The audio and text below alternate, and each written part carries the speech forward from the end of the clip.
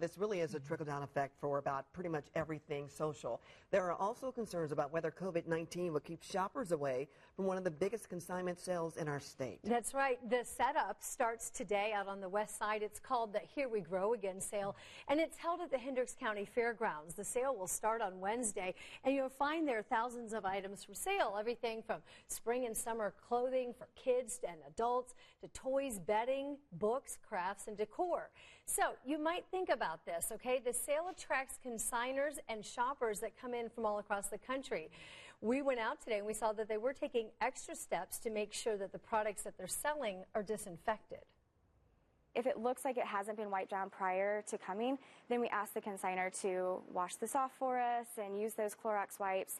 Um, and we also, after the consigners check in, we, we wipe down all the tables um, at the end of the night. There will also be hand sanitizer at all the checkout tables, and volunteers can use it throughout the check in process.